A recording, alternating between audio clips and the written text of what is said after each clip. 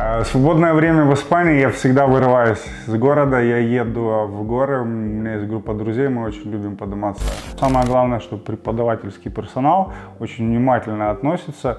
Они занимались перед переездом по три месяца, по-моему, с репетитором, но когда приехали сюда, ну, я могу поделиться опытом, как я выбирал регион в Испании. Я за- зашел в интернет и э, в поисковой строке забил, смотря в зеркало, э, вот, что мне надо на заднюю фару, кто знает прием. Вот, вот этому я научился вдали от родины. Плюс преимущество э, масса. Э, Продукты классные. Э, Всем привет, дорогие друзья! Я Денис Курбатов, менеджер компании Allegria. Рад приветствовать вас на нашем канале. А, Мы долго думали, какое видео может быть интересно нашим подписчикам и приняли решение, что нет ничего лучшего, чем делиться своим личным опытом а, переезда в Испанию. Я сегодня в этом видео, оно будет полезно тем, кто планирует переехать в Испанию. И в этом видео я вкратце расскажу свою историю переезда. Я отвечу на ряд самых волнующих э, вопросов э, при переезде для людей, которые сидят э, у себя э, на родине и планируют переехать, их, э, у них по- постоянно возникает масса вопросов. Я знаю, потому что я это проходил. Я постараюсь ответить на все эти вопросы. Я расскажу свою историю, как у меня все это произошло. И, быть может, вы для себя сделаете какие-то выводы. Я дам несколько советов. Наверное, вначале я вкратце расскажу свою историю. Меня зовут Денис Курбатов. Я родился в городе Винниц, это центральная Украина, 1981 года э, рождения.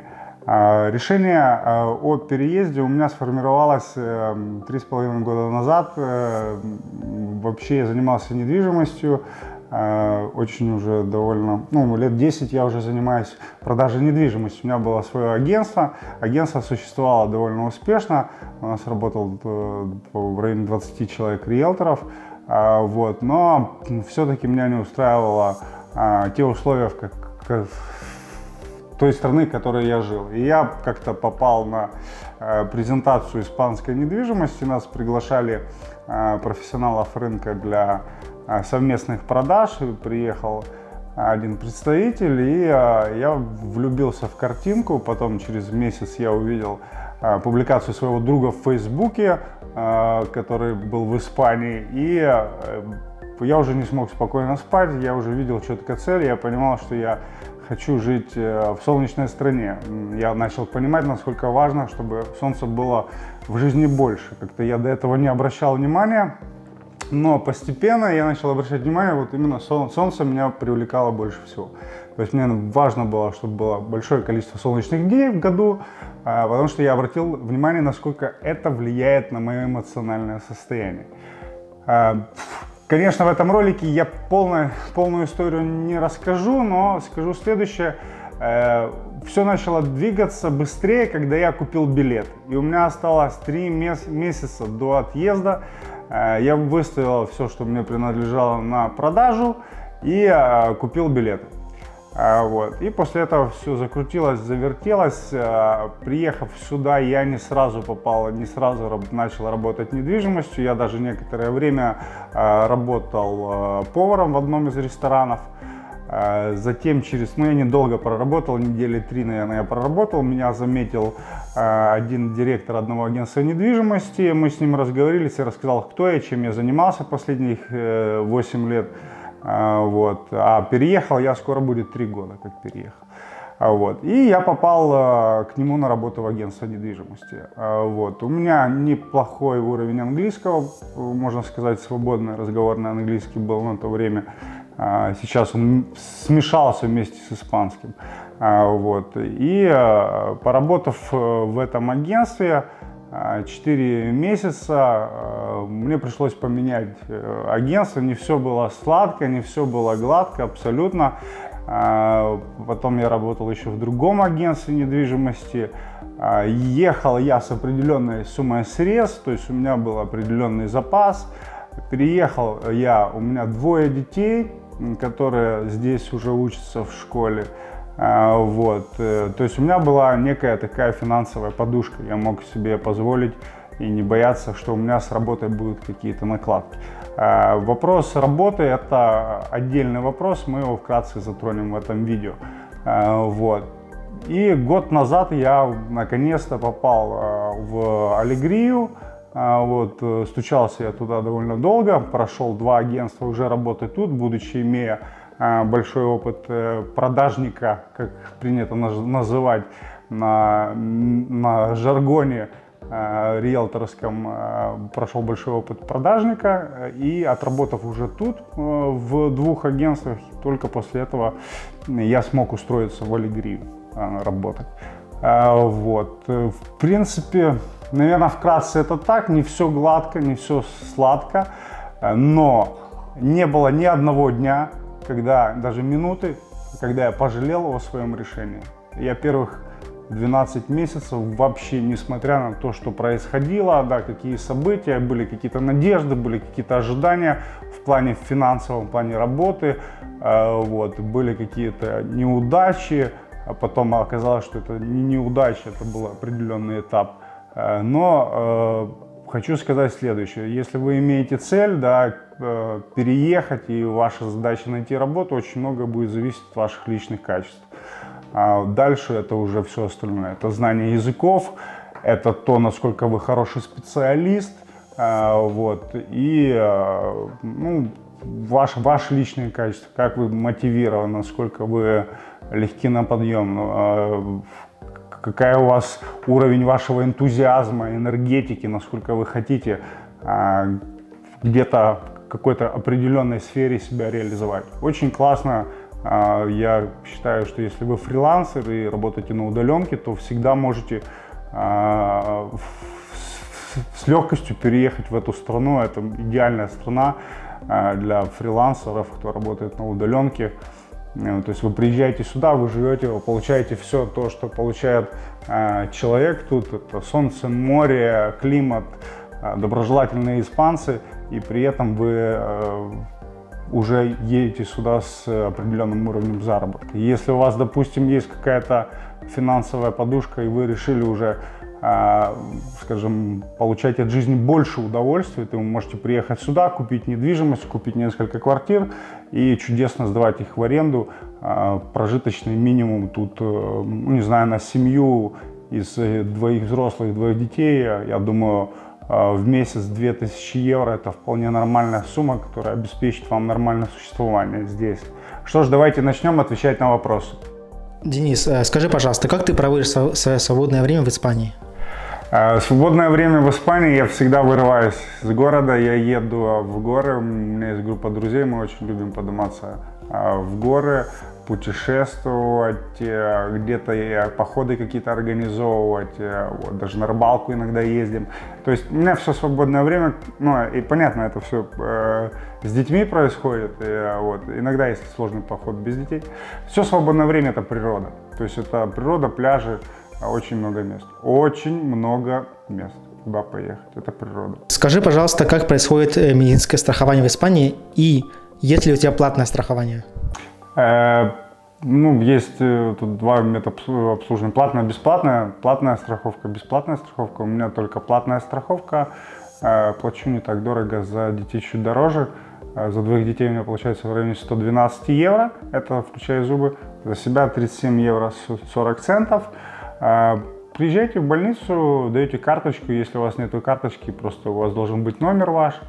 И в каждой больнице есть покрытие Э, вашей страховой компании. Тут очень крупная есть клиника Кирон.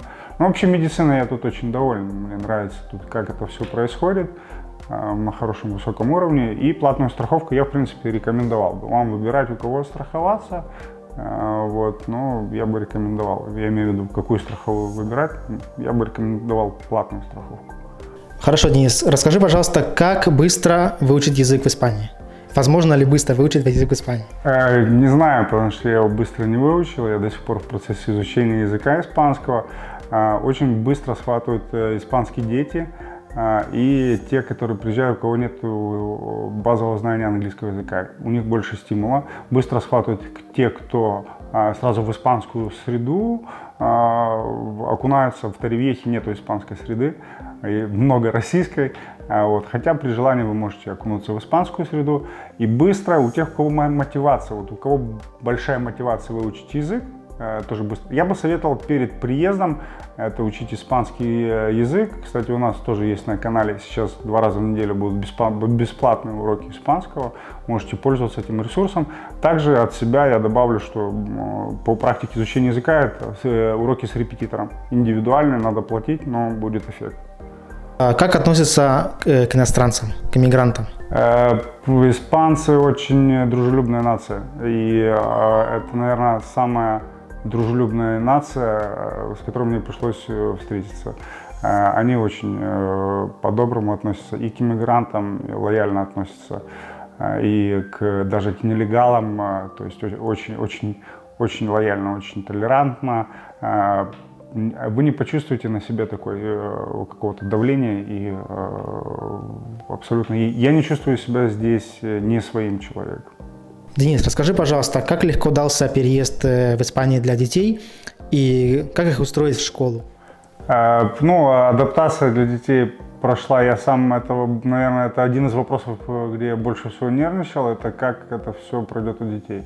А, вот, э, понятно, у меня старшей дочке 12 лет, младшей 8, и они оторвались от друзей. Вот, вот этот момент, что они там, ой, пап, у нас же там куча друзей, момент того, что у них э, в один момент не стало ни одного друга.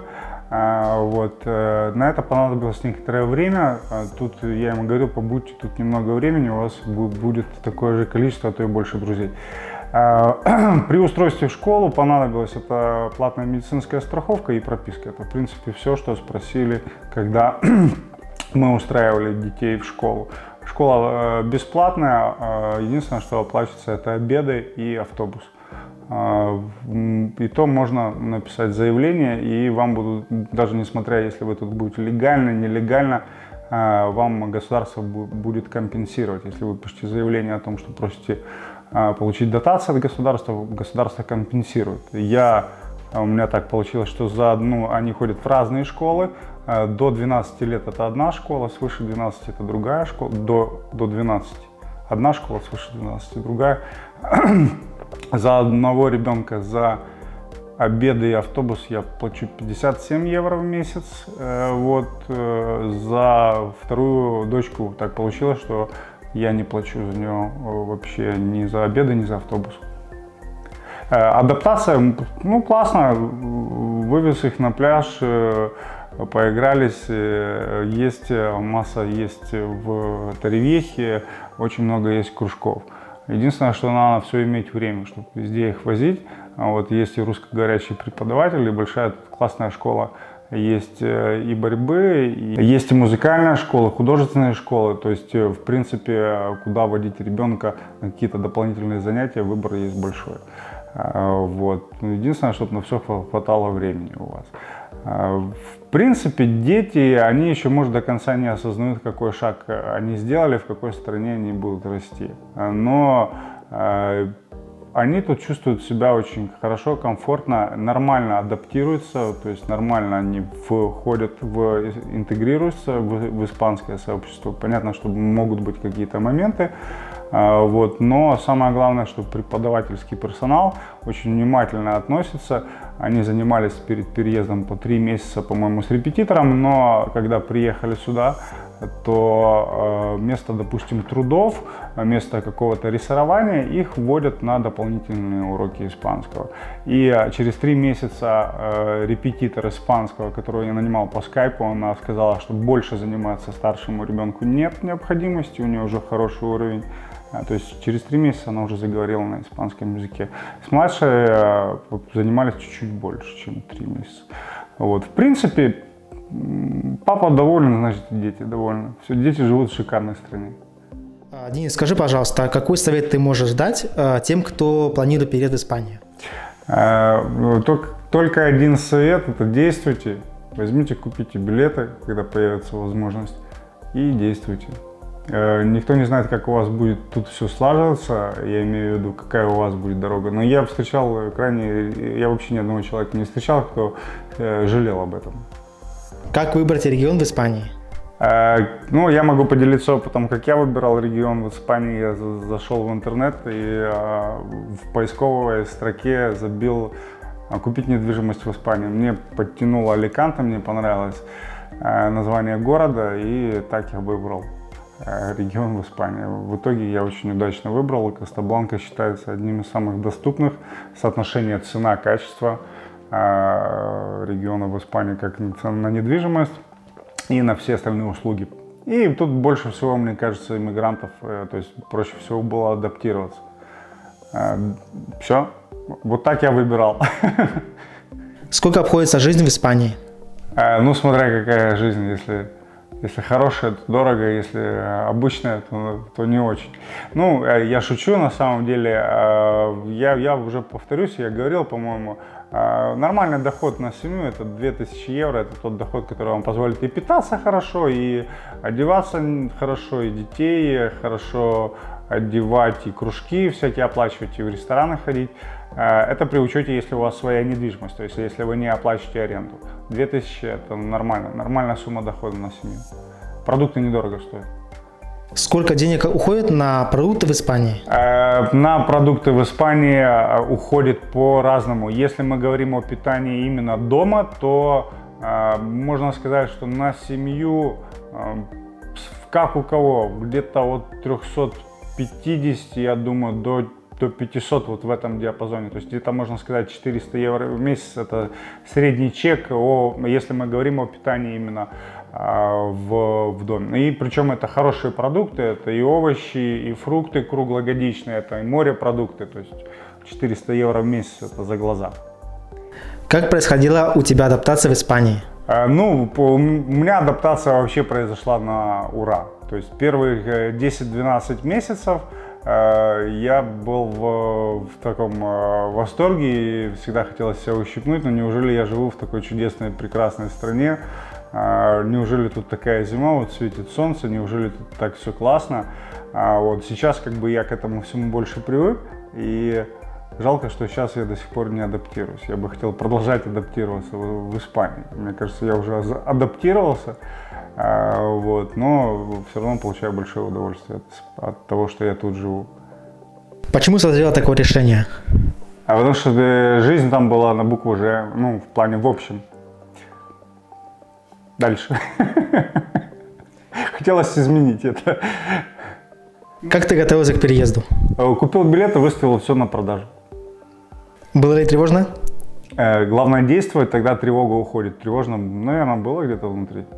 И почему именно Испания? Э, потому что я был в 2004 году первый раз в Испании, и я не знаю, я заразился этим духом спокойствия и гармонии. Мне кажется, это один из кусочков рая на земле. Э, тяжело ли тебе влиться в социум? Э, абсолютно не тяжело, тем более в городе Таревехи. Здесь я через полгода имел больше друзей, чем я имел у себя на родине. Хотя я очень общительный, дружелюбный человек. Кто поддерживает вас в этом решении? Все близкие, родные, все поддержали меня в этом решении. А вот в итоге очень выгодно этим пользоваться. Приезжают в гости в Испанию. Где ты черпаешь силы?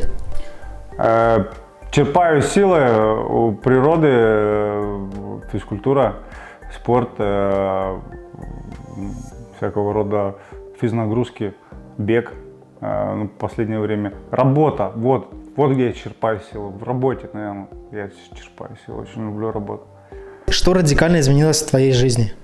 Радикально изменилось абсолютно все в моей жизни, за исключением рода деятельности. Я чем занимался а, у себя на родине, тем я занимаюсь тут. Ну, вот. Это, кстати, один из советов э, при переезде занимайтесь тем же самым, чем вы занимались у себя дома. В том, в чем вы профессионал, тут и реализовываетесь. Есть ли сомнения в выбранном пути? Нет, ни разу не было ни секунду, ни доли, ни йоту. Я ни разу не сомневался в том, что я все делаю правильно. Было сложно, не всегда было легко, но я всегда знал, что я э, красавчик. Какая у тебя стремление и цель? Э, стремление в работе это как можно больше количество качественных продаж, чтобы люди, чтобы люди оставались благодарны. Цели в разных областях разные. А в, в спорте сбросить лишний вес и прийти больше в форму. А, в здоровье там тоже там, иногда устраивать дни голодания, вот, э, написать книгу. Ну, основная цель это, это работа, качественно делать работу свою, и чтобы дети получали все, что, что, что должны получать.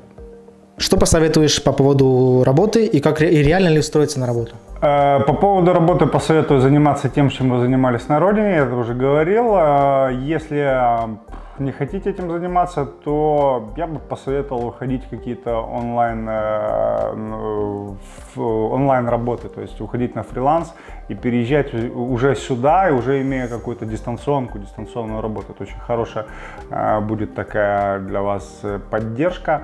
Работу в Испании принципе, можно найти, смотря какую, на что вы претендуете. По поводу бизнеса это тоже можно. Здесь возможно построить бизнес, особенно если вы хотите сдавать э, квартиры в аренду. Это все реально. Все зависит от того, э, если мы сейчас говорим о работе, то, конечно, да, давайте не забегать вперед. Э, работу найти можно, но для этого надо быть профессионалом, надо иметь набор качеств и преимуществ перед конкурентами и стремиться. Какие минусы и плюсы в Испании? А, минусы в Испании.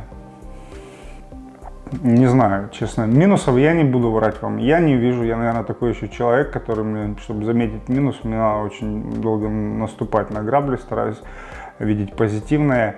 А, и одни преимущества. Вижу в Испании одни преимущества, одни возможности, наверное, поэтому у меня тут так все, в принципе, шаг за шагом выстроилось и получается. Если будет концентрация на минусах, то, то вы наверняка их найдете. Ну, не вижу я тут таких уж там минусов.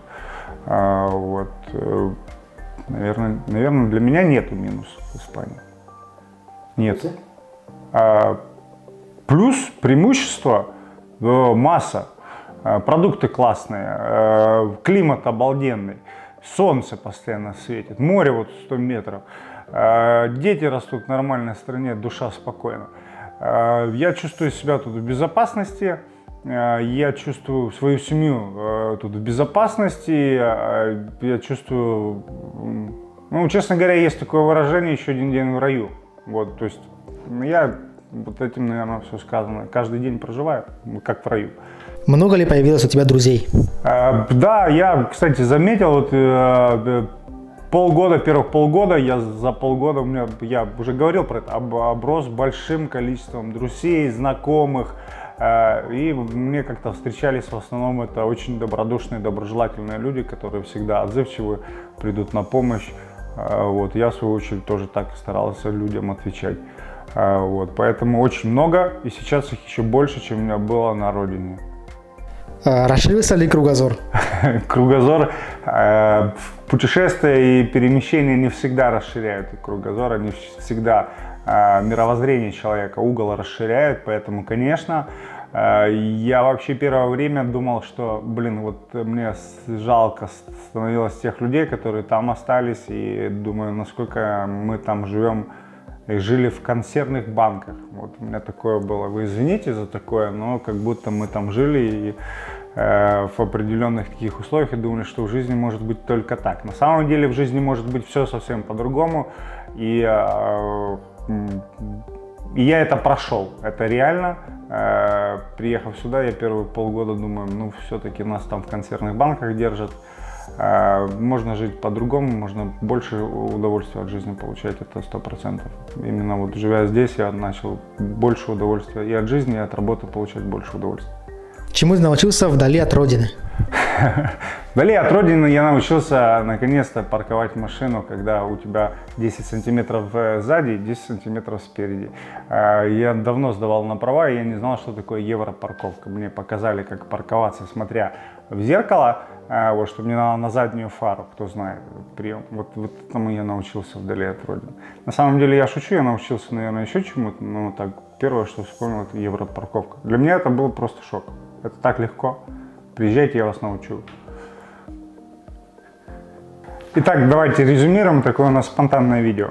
Основные вопросы, которые интересуют при переезде, это как что будет со мной, как я найду работу, а, как, что будет с детьми, если это семейные пары, А, то есть ну, интересует людей доход, как он организует доход и семья.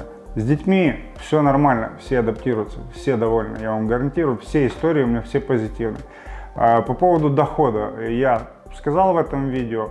А, по поводу, если вы приезжаете с определенной суммой денег, а, то вам еще проще, вам достаточно накупить ряд квартир, некоторые сдавать на длительный период, некоторые на посуточный. Это вам даст возможность здесь классно существовать. Вот. Для всех, кто смотрел это видео, хочу сказать следующее.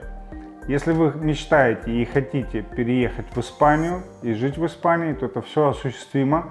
Вы можете найти себя здесь. Все зависит от ваших личных качеств, от вашего стремления. Я сделал это, купив билет, а, вот, знав четко, какой у меня термин на сборы, а, дав себе сроки, выставил все на продажу, если надо, где-то опустил цену, а, вот, продал там, купил здесь и переехал. Вот. А то, как тут уже начали развиваться события, это отдельная книга, это отдельная история. Но ни одного дня, ни одной минуты я не пожалел о том, что сделал. А, я живу в солнечной стране, я живу, общаясь э, с позитивными людьми. Э, первый шок, один из шоков для меня был, как тут пенсия, э, пенсия люди пенсионного возраста, они улыбаются, они до сих пор следят за собой. Они это показатель того, как э, комфортно, некомфортно живется а, вообще, как комфортно, некомфортно, какая экономическая ситуация, насколько комфортно живется, насколько климат хороший. Улыбающиеся пенсионеры говорит о многом. А, вот, то есть, ребят, если вы хотите переехать в Испанию, вам надо просто взять это и сделать. Чем больше вы будете вариться в своих мыслях, как это будет, будет хорошо или плохо и так далее, вы никогда не узнаете, пока не сделаете шаг в направлении переезда в Испанию. Я всем вам желаю, всем, кто хотел переехать, думал об этом, и кого терзает сомнения, я всем вам желаю пробовать и делать. А, мой пример и пример всех моих знакомых говорит о том, что это правильный выбор – с вами был Денис Курбатов, вот такое спонтанное видео. Не судите строго, если какие-то вопросы вас интересуют, вы можете написать в комментарии, я обязательно отвечу. Еще хочу сказать, что когда я был в поиске, я не, не нашел такого классно, а, классного ресурса, как Allegria. Allegria компания, которая имеет разные а, ветки и а, тут и медицина, тут и устройство детей в школу, тут и оформление ВНЖ, тут и покупка недвижимости. То есть мы полный спектр услуг стараемся предоставлять. И я вас призываю к действию. А, мы очень следим за своим брендом, мы следим, у нас есть этические правила, мы их не нарушаем, а, нам нужны хорошие ваши отзывы. И я вам настоятельно рекомендую обращаться к нам. И если вас интересует вопросы, связанные с покупкой и приобретением недвижимости, вы можете писать мне на WhatsApp. Также, если любые другие вопросы, вы можете тоже задать мне на WhatsApp, я вас э, перенаправлю к ответственному менеджеру.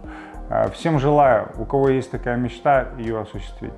Э, здоровья, дорогие друзья. Побыстрее нам выходить из дому и улыбаться, и не бояться пожать друг другу руку. Вот. Всего вам наилучшего. Будьте здоровы. С вами был Денис Курбатов, менеджер лучшей компании на побережье, компании Аллегрия. Радость!